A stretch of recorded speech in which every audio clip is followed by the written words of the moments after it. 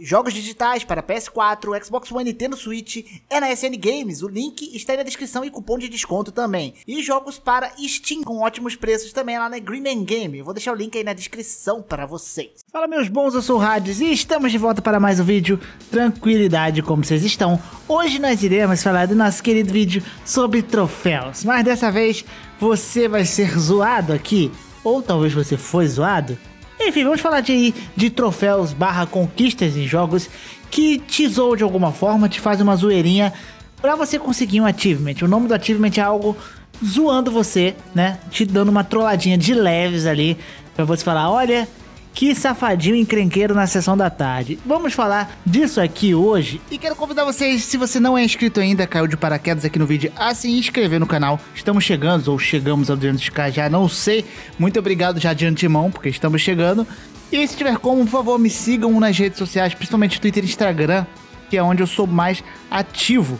E aí, né, a gente pode trocar ideia e pode mandar mensagem que eu respondo lá. Então, me sigam aí nas redes sociais também. E agora vamos falar dos troféus que zoam você na cara dura nos jogos. Vem comigo, meus jovens.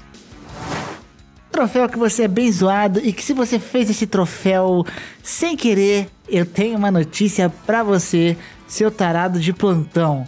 Acontece que no Yakuza Zero, que quando lançou esse jogo eu sempre lia, e agora eu vou estragar a mente de vocês, eu sempre lia o título ali, o logo do jogo como Yakuzão. Sempre leio isso, velho, não dá. Enfim, é um jogo muito legal, Yakuza. Já falei dele aqui no canal, muitas coisinhas para fazer, né? E uma das coisas que você pode fazer é, assistir vídeo de ídolos, né? De ídolos ali, ídolas pops, moças bonitas na TV. E você até ganha ali, né? Dependendo do que você vai fazendo ali algum, algumas relações com os garotos, já que é um jogo bem livre, você pode fazer muita coisa, né? Ou completando outras coisinhas lá, enfim. Você vai ganhando ali algumas, algum, algumas fitas que você pode assistir, né? Alguns vídeos que você pode assistir. E são moças ali japonesas ali, meio sensualizando na TV e tal. Então você coloca lá e fica assistindo, tá ligado? E quando você tá assistindo, tchanã, troféu ali pra você. E sobe um troféu chamado Eu Fiz Isso pelo Troféu, ó. Juro que foi pelo troféu que eu fiz. Então, se você ficou hipopotizado e viu o filmezinho da mocinha até o final, você vai ganhar um troféu que, inclusive, eu acho que é um filme muito emocionante, porque depois mostra o lenço de papel. Aposto que é para enxugar as lágrimas, que o filme deve ser muito emocionante, né? E aí você ganha esse troféu. O engraçado é que o nome desse troféu é justamente o que você vai falar para sua mãe se ela entrar no quarto na hora que você tá fazendo isso. Você fala, mãe, estou fazendo isso pelo troféu, me respeita. É, basicamente isso. Bem, se vamos pensar num jogo zoeiro, a gente tem o jogo do Deadpool, velho. Deadpool é um cara mega zoeiro, não importa onde ele tá, ele vai tentar quebrar a quarta parede para dar uma zoada. E no seu jogo não é diferente. A gente tem troféus aí que dá uma zoada no jogador. Tem troféus tipo meio meio escrotos que é, tipo, o primeiro é de graça o nome do troféu, que é basicamente você levantar da cadeira, você apertar um botão ali, você ganha um troféu, velho. Olha que interessante, muito legal, né? Mas o troféu em questão que é mais zoeiro, e na verdade ele é zoeiro, mas ele é meio realista talvez, que é simplesmente platinar o jogo. Se você pegou, suou a camisa, fez todos os troféuzinhos belíssimos do jogo, você vai ganhar um troféu chamado Ok, você pode vender o jogo agora. Muito legal. É, é isso que eu recebo de reconhecimento platinar o jogo. Você vai mandar vender o seu jogo, né? É, mas de certa forma ele não tá mentindo, né? Muita gente compra jogo, platina, já fez tudo que tinha pra fazer e passa ali para comprar outro jogo, velho. Principalmente aqui no Brasil, que a gente é ferrado pagando 300 conto em jogo, né? Então é um troféu zoeiro, mas ao mesmo tempo realista? É, pode-se considerar que sim, né? Mas ele é meio frio, é meio frio. Me deixou triste. E temos o famoso camper no Halo 4, que é tratado de uma forma bem legal e interessante, talvez. Tá ligado quando o cara fica num lugarzinho, no cantinho ali, só esperando os caras passar para dar um tiro? O clássico camper, né? No LoL também tem os caras que ficam toda hora ali gankando o cara. E a galera sempre fala, mano, arma uma barraca aqui logo, já vai ficar aqui, mano, monta a barraca aí e fica aqui, tá ligado? E nos jogos de tiro também a galera fala isso, que o cara não sai, o cara fica no mesmo lugarzinho ali, abaixadinho, só esperando o nego passar pra matar. E aí o troféu do Halo é exatamente isso.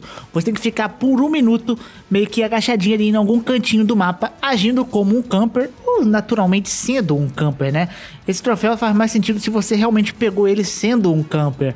Porque você vai ganhar esse troféu, que significa pitch na tent, que é simplesmente armando a barraca. No sentido mais puro da palavra, meus meus amigos, por favor. E, né, caso que você é camper, você ganha isso daí. Então se você fez isso aí camperando, aí o cara tá te zoando mesmo. Você fala, pô, mano, sacanagem isso, né? Já basta os caras do online me zoar, reclamar, o jogo também me dá um troféu me zoando. Tristeza, hein? Mas eu acho esse troféu criativo, é legal. Outro jogo que temos aqui é o The Bourne Conspiracy. Esse jogo ele é meio desconhecido. Ele é um jogo baseado em filme. E na verdade é um jogo até meio mediano, assim. É um jogo que mistura ali stealth com tiro em terceira pessoa. E, entretanto, o jogo, ele mais ou menos ele tem um medidor de accuracy, né? Que é o medidor ali da sua precisão. Então, conforme mais você erra o tiro, né? Mais a porcentagem vai caindo. E eu passava por isso no Overwatch, né? No Overwatch, quando você jogava de McCree, eu errava todos os tiros, é, ficava lá embaixo, tá ligado? E o jogo é basicamente isso. Você consegue checar, se você quiser, quantas mais ou menos a porcentagem de acertos de tiro, a sua precisão foi.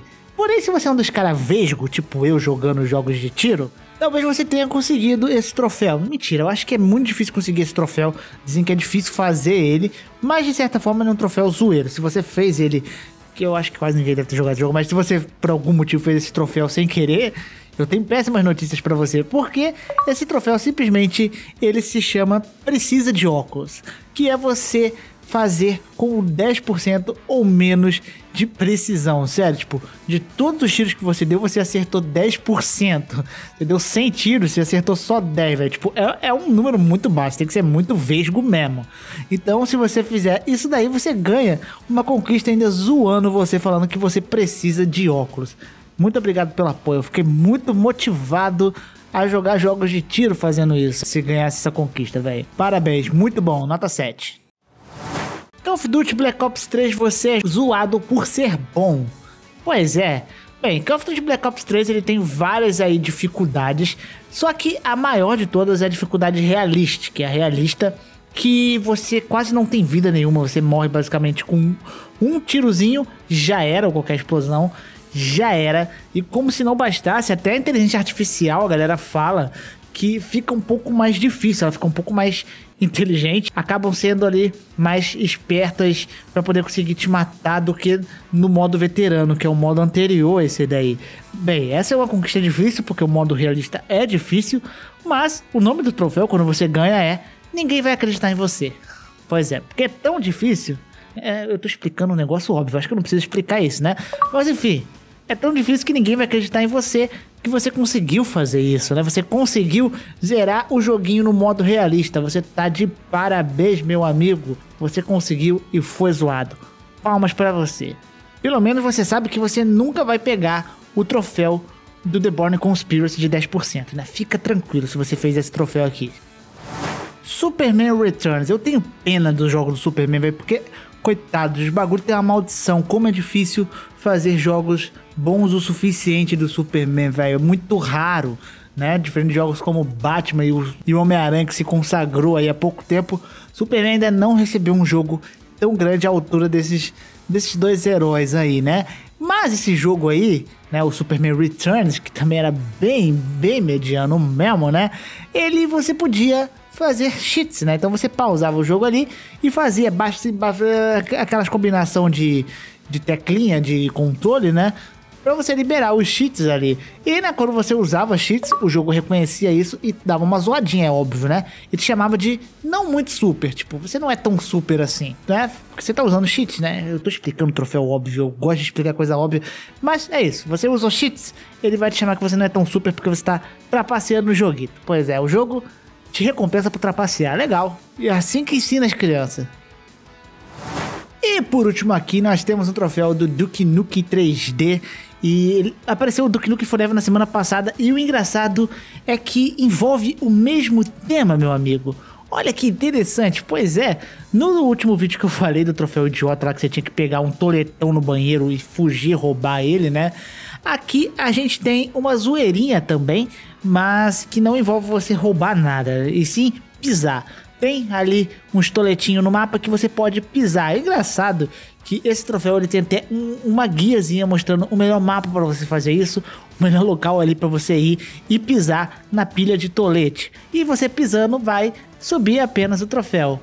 Acontece Quem nunca, né? Quem nunca pisou nisso? Ou num chiclete que você vai andando, tênis vai grudando no chão? É, acontece mesmo. Todo mundo já pisou na merda um dia, né? O engraçado é que a gente fala, pô, pisei na merda, eu vou ter sorte. Mas você não tem sorte, não. É só azar da merda mesmo. E esse aqui é o vídeo. Espero que vocês tenham gostado. Se vocês gostaram, não se esqueça de deixar seu like, se inscrever no canal e me sigam nas redes sociais. Os links estão aí embaixo. Muito obrigado pela ação de vocês. Grande beijo, grande abraço. Até o próximo vídeo. E fui.